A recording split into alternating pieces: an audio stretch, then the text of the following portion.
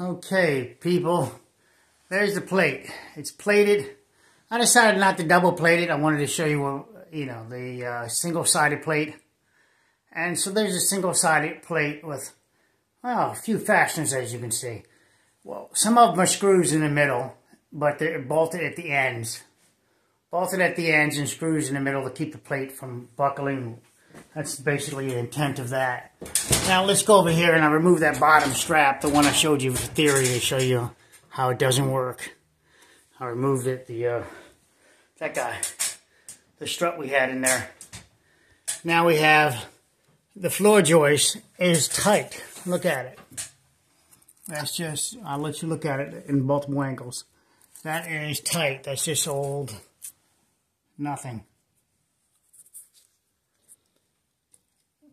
So there's the washer system. Just burned. I just burned some steel plate and burned holes in it. And you're like, hey, the edges are roughed and all that. Well, those edges act as a as a, a bite. It bites into the wood. The rough edges. So I don't mind. See the rough edge there? I can dig in the wood to some degree as you clamp it. I like that. All I did, but I did grind where I get flat surface here on each one of the each each location of the nuts um, a flat surface. Now, I'll use this, the next one, I was just trying to show this to a contractor to show him concept, that how you can just not use, you know, you can just use a regular torch, you can use a bandsaw if you want it, anything to make the, the larger distribution plate, not just a washer though.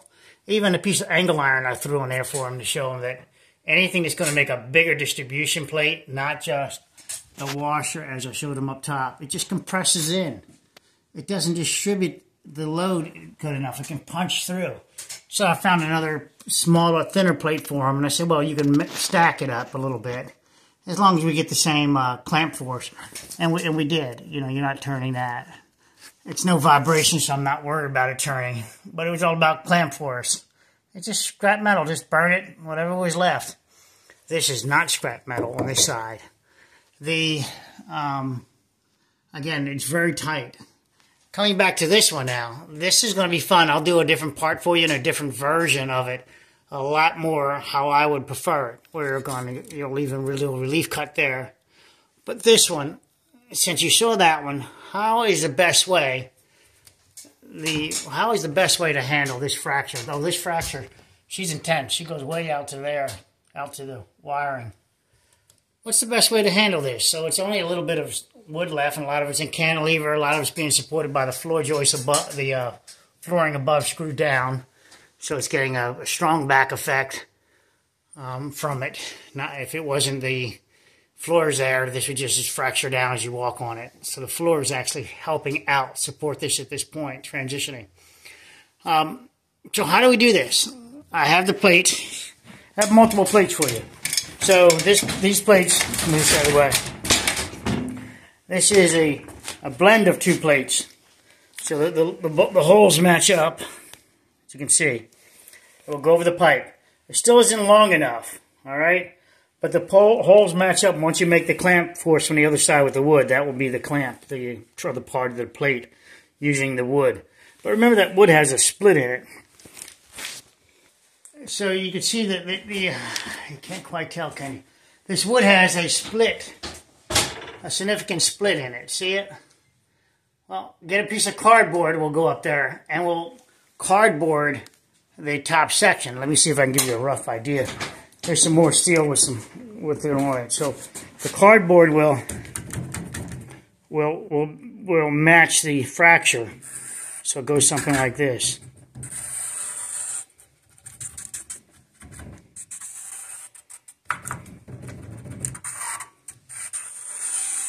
Hold on. So this, is not exactly right, so we'll do that for that for now. But the this would be the cardboard matching the top. And as you can see, I have a, a hole here and a hole here. So this is tying two together, the plate is. So that once you jack it up, this seam can't come apart because these two are bonded by this gusset plate, if you will. And then the same thing here. See? See, that's, that's, all the, that's all the intent is right there. All right? And and you you said well, there's that one and that one. You might want to put another one here, another one here. Now it gets smaller down here, so this is this will matter where this hole goes. If it lines up here, then this hole is abandoned, and we move over a hole, and maybe here and here. All right, so you get the strapping? The strapping with the steel, like that. That closes that seam up. It can't. Uh, it closes that opening, that opening up, and it can't. It will not. Uh, it will not come apart. Once you transition down, right down to zero, right. There's probably nothing too much we can grab here, but we'll still, if I can put a hole there through a hole, we'll still still add two more. And then, of course, once you once you transition to the other side, you're going to now tighten up the wood from here. These two are connected also. See right here? That's a hole. Got to move it to some wood behind it, perhaps. There you go. So now that's a lubricant. The uh, and so now you're going. These holes won't will overlap these holes in this plate.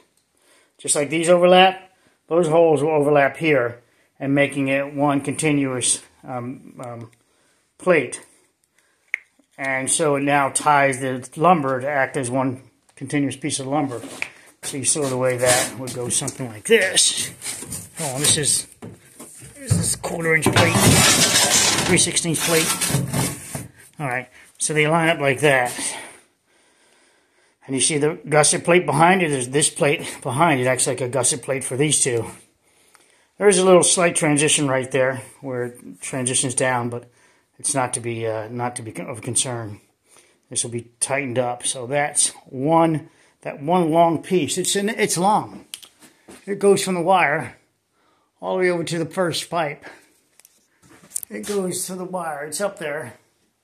And the one in the back doesn't take much at all. It just has a small fracture.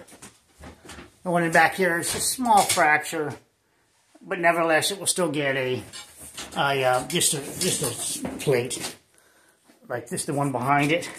So let's move this out of the way. This one will go in there. There's the two the two gaps for the steel for the uh, piping, and then it will get just just buttoned up pretty good. That's what it looks like. That's what it's not going to look like on the others, though. The others, I'm going to show a different method to the contractor, which is um, all thread and and cutting it to your exact length you need.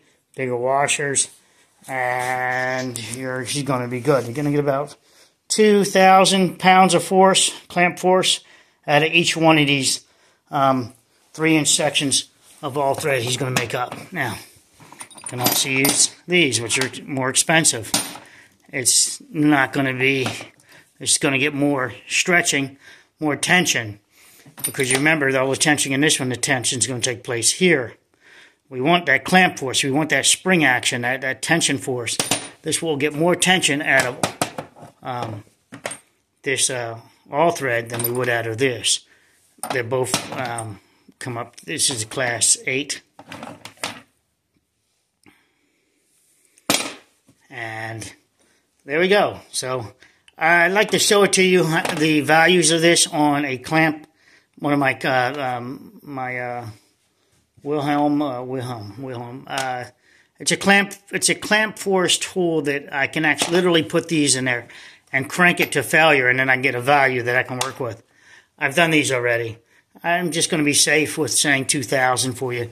It's greater than that, but I'm going to only give you 2,000 on that 3 inch um, um, effect with the two nuts on it. And have a nut on each end. One will be the anchor, one be live load, and one be the dead load, the, the dead anchor, dead end. All right, take care. Hopefully this is fun for you. Again, there's your plate for the back one. There's your double plate for the one that's got the super split. And you saw that when I went up there, I showed you that there was no fracture anymore, no cracking. And yeah, you don't have to be so crazy about it. These screws are actually on an angle because it gives you more clamp force than if I just go straight through.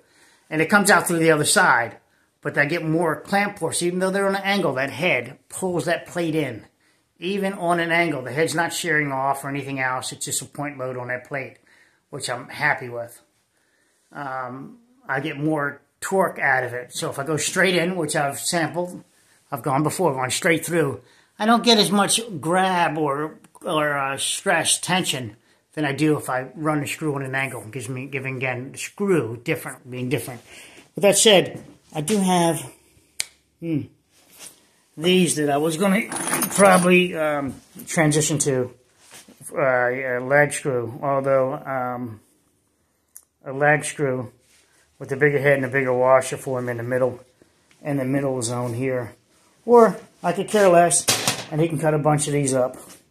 And you just cut them on an angle when you cut, and that way you don't have to worry about chasing threads. Take care. Love you. Bye.